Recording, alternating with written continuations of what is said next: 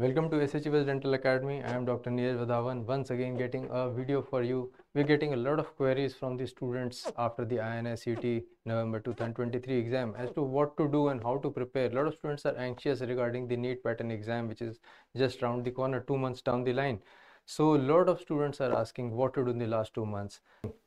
You already know we have had a fantastic result in the INICET exam. We had already six selections confirmed, and Dr. M is ranked 15. So hopefully she'll also get through.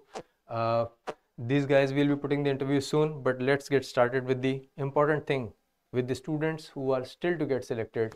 And we're going to talk about the NEET pattern subject-wise distribution of the last five years NEET pattern papers. What things you should focus upon in the last two months let's see here 2023 pattern.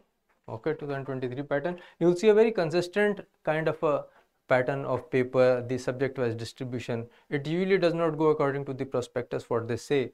So we're going to tell you the reality and the difference between the ideal and the real world. So this is where you need to focus upon. Let's see the most important things first. I will say general path in medicine always very important in the NEET pattern exam.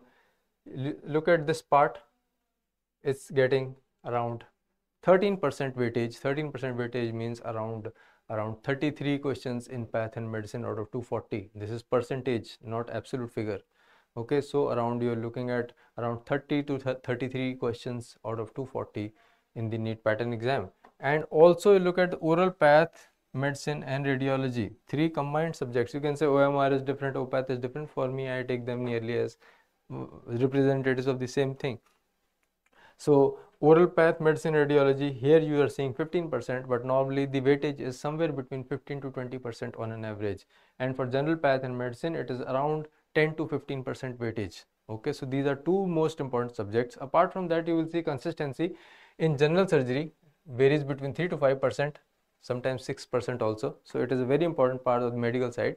What to do? General surgery is very vast so on an average, we give a very concise, condensed material regarding general surgery. And if you do from our notes, our videos, lectures, uh, you see the videos across of the toppers, they say whatever the medical side was taught to us by the academy that was more than sufficient. So you try to go to general surgery books you are wasting time for a 5% 6% weightage. But you do the high yield stuff that we give you in our lectures in our videos in our mock series exams. So that will be good enough.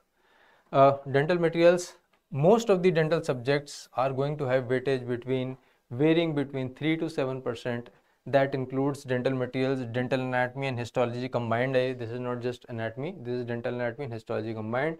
Cons and endo, two disciplines, again you will have around 5 to 7 percent weightage. Ortho is also 5-6 percent weightage. Pedo and perio somewhat 3 to 5 percent weightage is there mostly. You will see the next figures that i show you.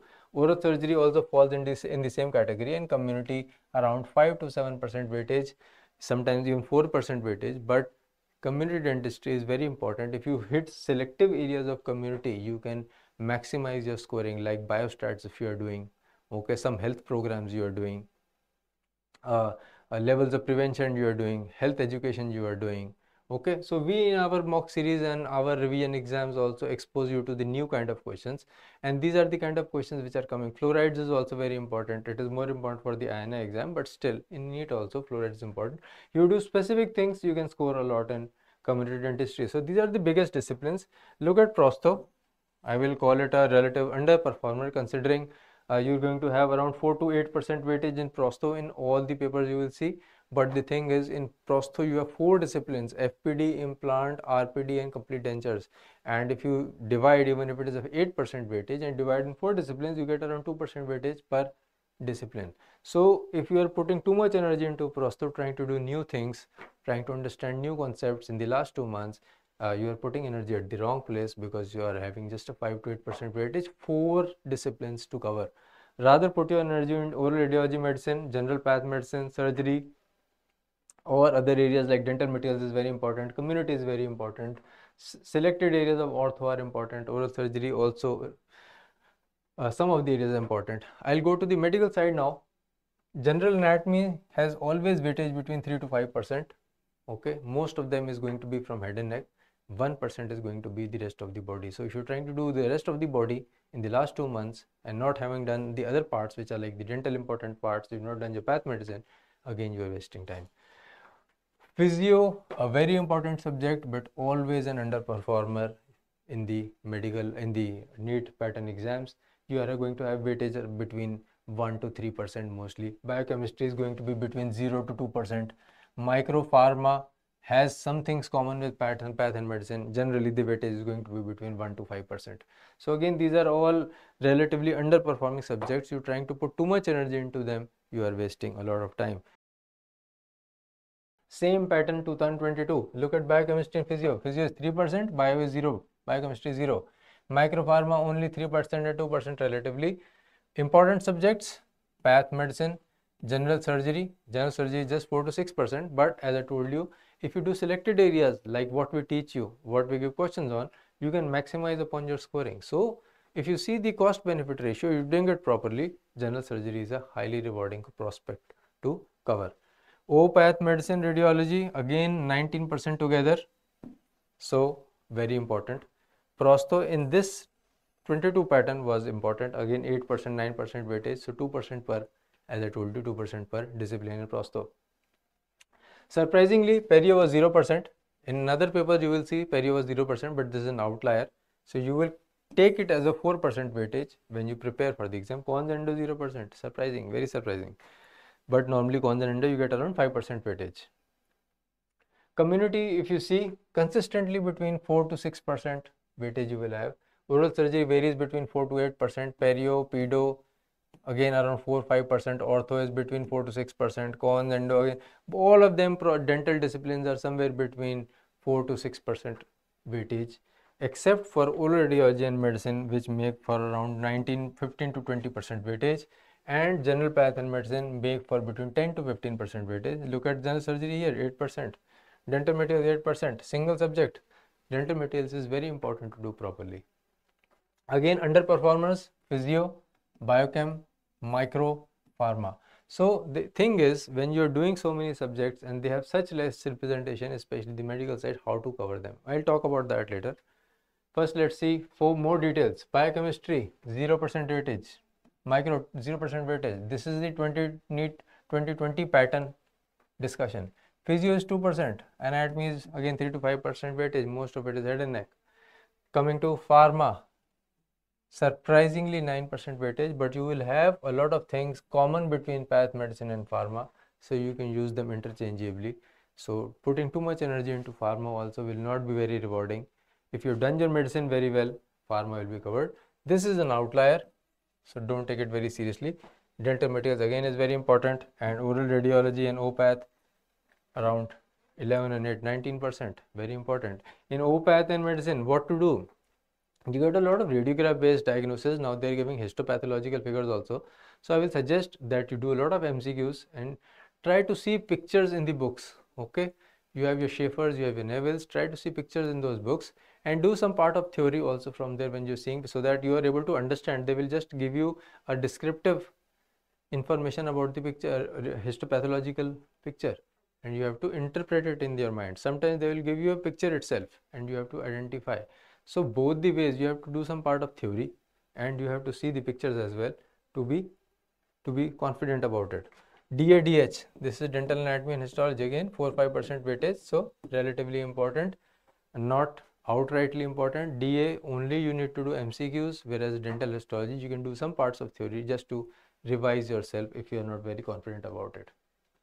I told you perio sometimes can be an outlier 0% in two papers you have already seen so perio is relatively important. I will say prepare perio according to a 3 to 5% importance. Okay. Pedo surprisingly had a lot of questions. Again, they would be overlapping with ortho. So this is an outlier. Pedo again you prepare as a 4 to 5%. So there are certain areas in which they're going to ask. Not everything is asked. Okay. So go to 2019.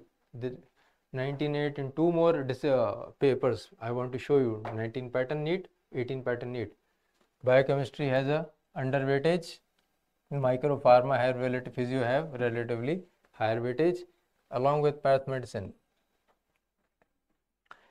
oral radio, radiology path medicine around 14% weightage. So 4 5% questions have come less in here and they were more in the medical side. So sometimes you can have some medical side weighted paper. So you have to be prepared for both the things especially the second timers okay? The first timers will have a lot of difficulty preparing for such changes but second timers cannot take such risks and you need to be prepared. This is more like in 1% biochemistry micro physio are 4% which are relatively on the higher side. Pharma is 8% so pharma is also making up for important part of your preparation. But again as i tell you if you try to go deep into the pharma and do a lot of theory you will be lost. So what i will suggest is if you are doing from a medical side mcq book cover some important aspects of pharma and most of it will be done. If you try to do everything in pharma you will be lost because a lot of things are common with path medicine, general medicine, for example, drugs and diabetes, okay, management of hypertension. So you count it in pharma, so pharma weightage goes up. You count it in medicine, the medicine weightage goes up. Okay, dental materials as usual is very important and oral path medicine weightage 11% only, no questions in radiology, they are overlapping, so that can be a reason. But over a period of time, if you have seen from 18 to 23, the weightage of oral pathology in medicine has become much more compared to the medical side paper. From 17 to 18, this is a composite, what I wanted to show you, very complex thing. Don't get scared when you see such a chart. I've talked about individual years. Here I am talking about all the years together and the weightage of, relative weightage of all the subjects. So this one is, this one is 2023 okay? Uh, this one is general anatomy and you're seeing the weightage change okay? In uh, in, in general anatomy with each year starting for 2023 you had 10 questions in anatomy okay? And in 2018 you had again 10 questions. In between 2021 or in 13 questions okay? In between in 2000 around 2020 you had 8 questions. So if you see the consistency is there if you look at this whole thing, wherever you're seeing the graph peaking, look at this path medicine, very important.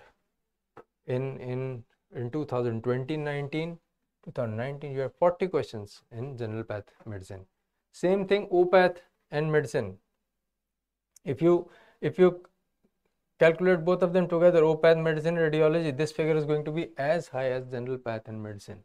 So OPath medicine and radiology comprises a very important chunk of your preparation along with general path and medicine. Apart from that, wherever you see peaks, okay, look at this area. Oral surgery can be sometimes an outlier having a lot of questions. At other times, the weightage can be relatively low. And most of the other subjects are having a same peak. If I call this as an average, most of the subjects are going to be touching this average except for a few ones like biochemistry. Physio has a low weightage. A lot of times micro can have relatively low weightage. Okay? Rest of them are touching nearly the same peak. You can also talk about forensic odontology. I have not mentioned it here as a separate subject because i have calculated it in oral path and medicine. And forensic how do you prepare forensic? Just the chapter in Shafer's is there you read the new Shafer's and you read that chapter and forensic is going to be done. You don't need to do anything else. So I, these are the number of questions every year in OPath medicine from 2023 okay to 2018 how many questions have come in every year? So this is the actual number not a percentage okay. How to use these last two months very effectively? You will need to do some part of your theory as i already said. You need to see some pictures you need to do some if you don't know about the various aspects of histopathological aspects of diseases you need to focus upon them okay? But doing your last five year six year NEET pattern paper is very very important. And this book has been there since 2006 helping the students to go through it. You see a lot of videos you will see comments from all the toppers. They have done this book many many times okay? Multiple times three times four times. So if you've not done this book you have to grab your copy today. It does not matter whether you have the latest edition or the previous edition. You need to do the book. That is more important. And you should have done it at least two times okay? At least one to two times before you go to the exam. So uh, apart from that uh, we also have our mock test series and uh, you've already known we have had a fantastic result and all the toppers have been swearing by the questions that we have put in our papers. So to help you guys we also are now releasing the mock test series. And if you're watching this video you're going to get a link for getting a 10% discount on the pro course. So if you subscribe using this video you're going to get a 10% discount on the pro course. We're going to st uh, start the series very soon. So keep updated on our official website and uh, in our mock test series we give actual weightage like you've seen all throughout in this video. We try to give that kind of weightage to the paper. So you actually get actually get new questions you get repeat questions and you get exposure to all kinds of questions that you might be expecting in the exam. So i hope you guys like this video and find it helpful for your preparation. You guys have any queries you can always put it on official mail and uh, or contact us on the official number so good luck to all of you. I'll come back with new videos as per your requirement. Bye bye.